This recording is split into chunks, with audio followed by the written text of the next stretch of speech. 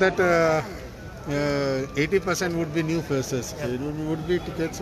No, I still, I still stand on what I had said. But ultimately, the final decision uh, will be taken by the party. Ah.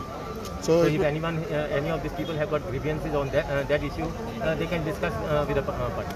But you I will, I will, This is my, this is my personal op opinion. Okay. This is the way how I feel. But otherwise, let the party party decide. So, sir, after the mayor, today, yes, I come न्ही आमचे old पार्टीचे So that so that is the reason I'm saying. See, I have uh, basically I had told as far as uh, the council which I was running, Ah. the- my uh, panel. Now it will be a B- uh, BJP uh, uh, panel. So basically, let them let them take a call on that. What I said. So it will be the party who will take a call on uh, party tickets. Yeah, it will. Uh, party will be the final.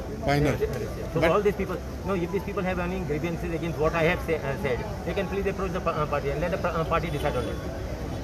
80 percent I, I look at it as 80 uh, percent, but then uh, the moment the party uh, decides, because the final call the party will take, the moment the party will decide, then we will abide by what the party has got.